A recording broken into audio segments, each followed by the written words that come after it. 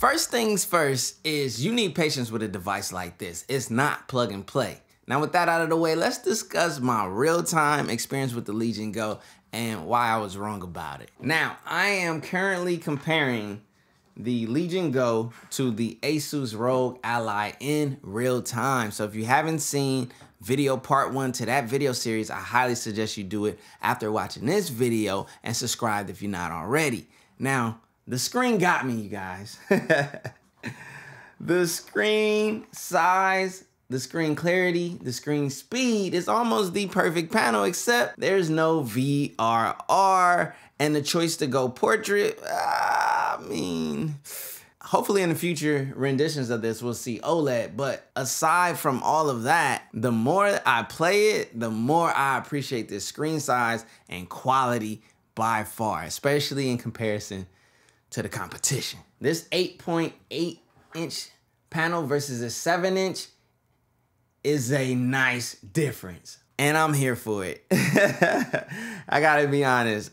I, the more I play it, the more I get immersed in gaming on this thing, the more I love it and the more I appreciate it. It's just refreshing to be able to see more without having to squint or move the panel closer to my face. And that goes a long way for everyday, you know, long form gaming. We're to talk about long time gaming on these devices, especially in the area of battery coming up soon. Stay tuned. The next thing that reeled me in about the Legion Go was when I tested it with mouse and keyboard gameplay. One of the biggest advantages the Legion has is this built-in kickstand, the fact that you can remove these controllers and just typically have a 8.8 inch PC display with a built-in PC into it, especially for mobile traveling gaming. If you want to hook up a mouse and keyboard via a dock, which I was able to do with my CalDigit TS3 Plus,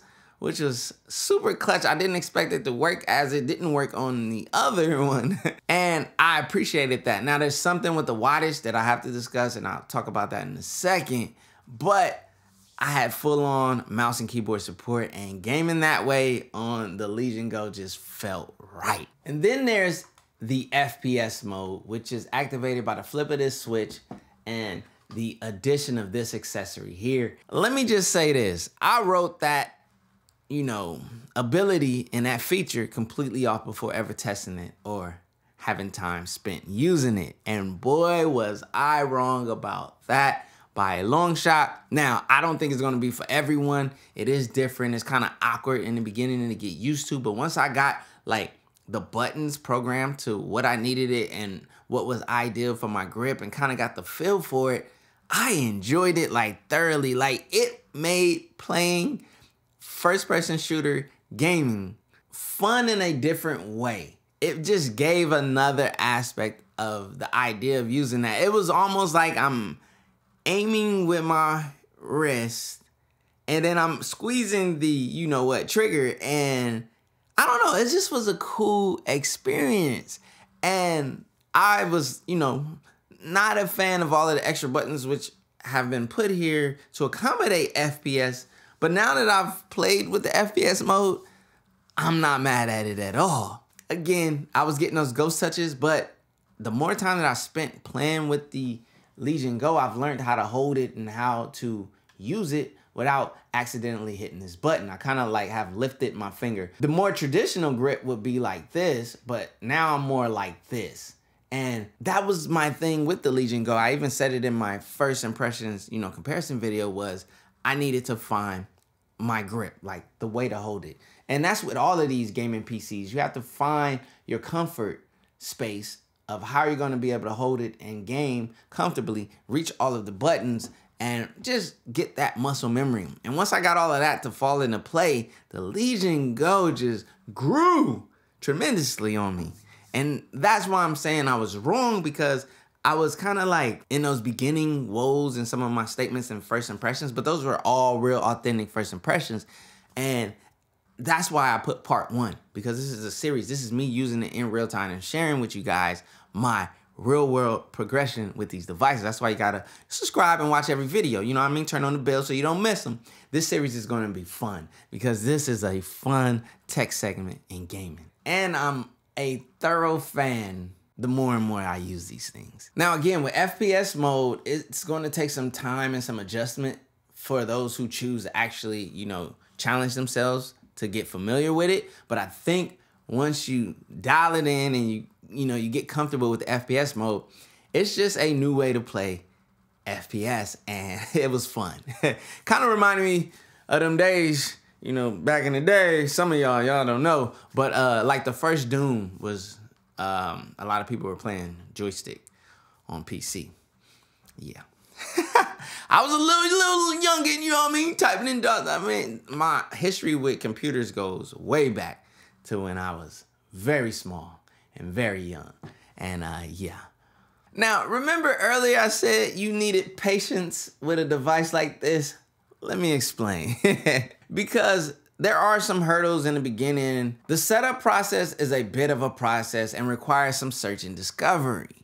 Oh, and a lot of driver updates.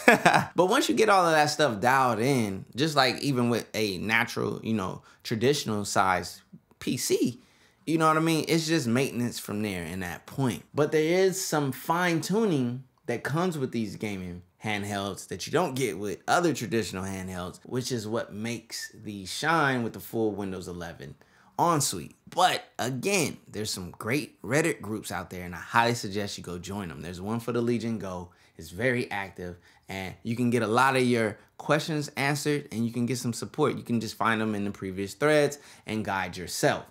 That's why I said you need patience to search and discover what you need. There's a lot of videos on YouTube as well. I may make one and add to, you know, the inventory, but there's a lot of ways that you can find your way along the way and get to that plug and play area. Now, what's great also is there are plug and play profiles for those of you who don't want to get too technical. There's like a performance mode in here. There's a power saving mode and then you have your custom modes where you're able to customize how you want this to work. For me, my custom mode go-to is the custom 30 watt TDP with the OS power at efficiency. Now, every now and then you can turn on full fan speed. Some people were asking me, what does fan speed sound like on this thing when gaming? Now, I'm gonna turn on full fan speed and typical fan speed is about half that sound. So here's full. You can hear this thing cooking and keeping it cool. And then typically normal gameplay is about half to possibly like a quarter of that, depending on what type of gaming you're doing. I'm doing more like heavy GPU, heavy, you know, system intensive gaming with my FPS of choice, which is Call of Duty. Now, I did play some other games like I told you guys I would when I did the first impressions, and we'll talk about that in a second. Now, the beauty about a gaming PC is you can adjust and fine tune the performance. You can get out of them, but that can also be a headache. but I found that when I'm playing power intensive gaming, like I told you guys, especially with COD uh, MW3, somebody said MW3 wasn't a good benchmark. You are nuts. But yeah, when using power intensive games, it's best to have this tethered to a power bank or plugged in in a power source to maintain and supply the power necessary for sustained performance and battery. Because on battery, let's talk about it real quick. You can zap this battery extremely quick. You know, GPU usage, you know I mean? Fan speeds kicking up, you in performance mode. That battery's gonna fly. Now, if you're doing more, you know, casual chill games that don't require as much in those areas, then you can extend the battery beyond that. But for me, with the way that I'm playing and the way that I'm trying to push higher performance, I got the 30 watt TDP going at all times and all that. Uh, found that me having this tethered to a power bank with a 100 watt output was the best decision. It also felt like I got better uh, game performance, GPU performance, even Wi-Fi. It just seemed like it helped give this device the full power it needed to use all of its internal components because I was gaming out in the living area and I did I tried testing it on battery. This is one of the things I did. I, I was in my bedroom. I did the battery. For some reason I wasn't getting the best Wi-Fi connection. And then in game, I was having these shader issues in Call of Duty. But the second I plugged in to my 100 watt, you know, external power battery, you know, portable source, everything ran just fine, which kind of made me scratch my head a little bit, right? And on the area of power, notice I mentioned 100 watts a lot. I also did the mouse and keyboard setup, which I was using this um, CalDigit TS3, which does have power delivery, but it's only at 87 watts. So I was gaming, mouse and keyboard, full blown performance mode. This thing's going crazy in COD, which is heavy, intensive, and this thing just shut out on me. Which, from my research, you need a dock that's outputting 100 watts, and that could be, you know, the cause of my mishap that I had. So I ordered a hub that's 100 watt that's going to be coming in, and we're going to test that theory. And we're going to see if we have that issue again or not. This is why I say you need patience because sometimes you might run into something and before you write it off, you need to do, you know, the search and discovery and test and just, what do you call it, problem solve some things. This is rough, raw, and rugged. I'm giving it to you guys. I'm not gonna just only show you the good times and put together this beautifully drawn out video with just a bunch of beautiful B-roll and not share the real world, the real use. You know what I mean? That's what this is all about. That's why this is a series that's always gonna say part one, part two, part three, because you guys are gonna progress along with me. So it's very early in my Legion Go journey. There's still more updates and fine tuning to be had, especially in the area of the dead zones on these joysticks. Now, this is great technology being used for these joysticks, but at this current moment, we don't have the dead zone adjustment, which mid-December, this should be out. So if you're watching this beyond that, ignore it. You have the dead zone adjustments and you're probably enjoying this Legion Go in its full glory with these beautiful joysticks. Like these are great. They feel amazing. It's just I needed that fine tuning, which I've done my makeshift fixes inside Call of Duty. I didn't do any of the third party software because I'm not trying to get banned I have anything reading that way. And as soon as Lenovo releases their update, I will be right back here reporting to you guys. So that way we can correct that area. But one thing I will say is I've spent some hours playing. I've developed my grip. I've gotten somewhat accustomed to where we are right now. And I've you know made some adjustments and I've improved my gameplay in my FPS on this. And the reason why I, I talk about FPS gaming a lot is because that's just my high priority of gaming. And the reason why I bought these is to play that game on the go. Now, I did take my gameplay beyond Call of Duty. I played my Dragon Balls game, a little Sonic, um, a couple of other games that weren't as labor intensive. I've even tried them, you know, without being plugged in, with being plugged in. I did have something funky happen with the display. That's the only thing with this portrait you know, resolution. Some games, you know, they get a little thrown off. I was also able to correct them and play all of these games in their full, you know, portrait screen resolution glory. Um, so this thing performs. This thing does what it does. The size of this panel that you get at 8.8 .8 inches does come with, you know, some weight and some heft, but it's worth it. it's worth it to have a display size like this. Yes, it could have been OLED. Yes, it could have had VRR. To be desired, I guess, in version 2. I also will be on the search for a TPU silicon style cover for this so that just I could get a little bit more comfort. It would be nice if Lenovo made one, but if not, you know, the third parties are in the works. I seen one on Amazon floating around. It takes a while to get here, so I'll probably order that and test it out. Just something to add to the grip and the comfort. But I have found a decent space of comfort with the Legion Go. And my first impressions, my use cases as I use it more and more, this Legion Go is growing on me tremendously. And that's why you see all of the enthusiasm around the Lenovo Legion Go, and it is rightfully so. It absolutely needs more tweaking, more development, and more updates to completely round it out. And the same went with the ROG Ally, which is why it just feels more well-rounded at this current date. But the future is bright for the Legion Go. it is bright, trust me. And I've seen nothing but proactive support and communication from Lenovo around this product thus far, and that's a great sign. Actually, that's a huge sign.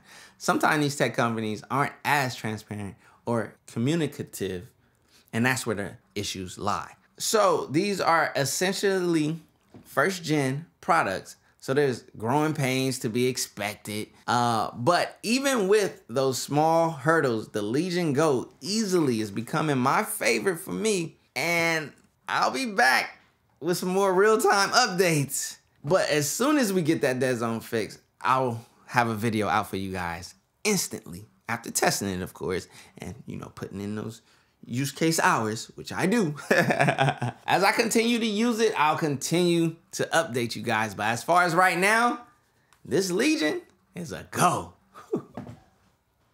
Keyboard mouse gameplay. I can tell you this, it runs very smooth. Oh. I can even get my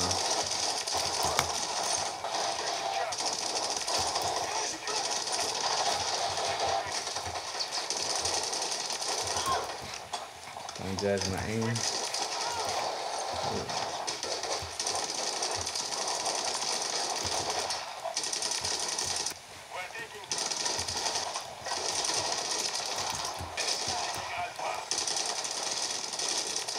Oh.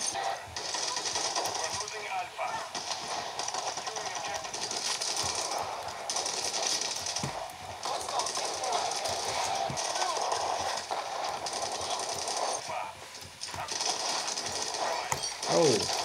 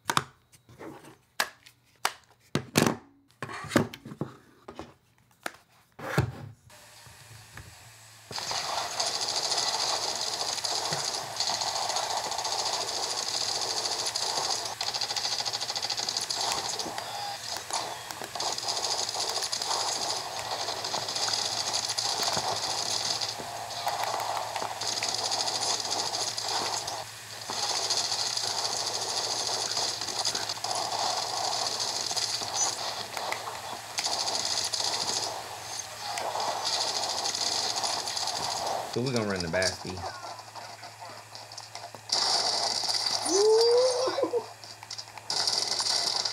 Oh my aim. I missed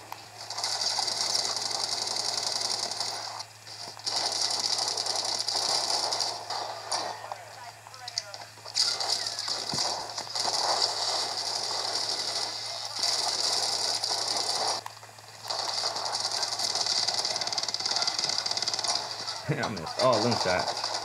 Let's go.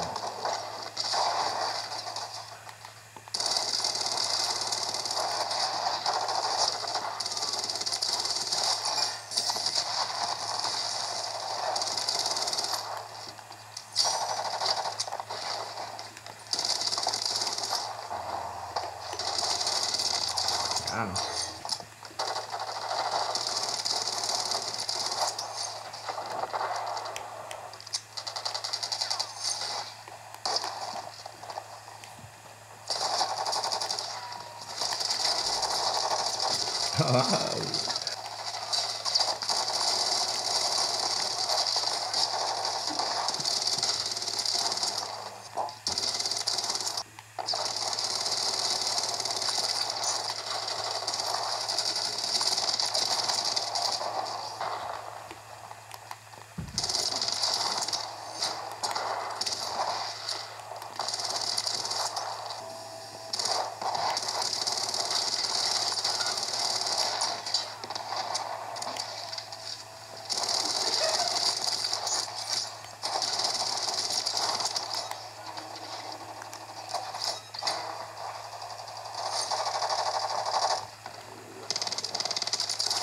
It takes some getting used to, but I think once you start to get it, it's like fire.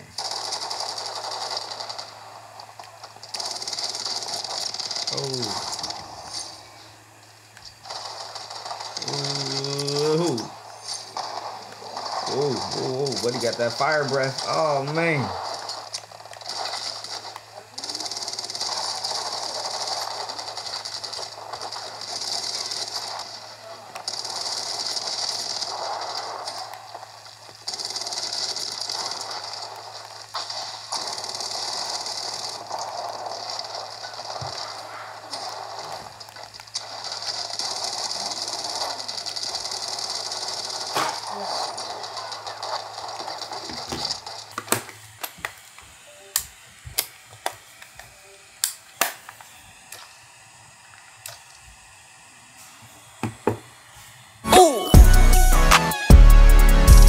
You technology snobs, technology snobs, I done just about had it with all of y'all. Listen, huh, duck. New watch, no diamonds, no watch, good timing, yeah. New watch, no diamonds, no watch, timing, yeah. Need no middleman, I'm the man to man, send it in. I like what I like, me, I know my rights, is sipping in. I like having fun, I do what I want, it's what it is. For my son and son, for my daughters, yeah, it's for my twin. I work through the night.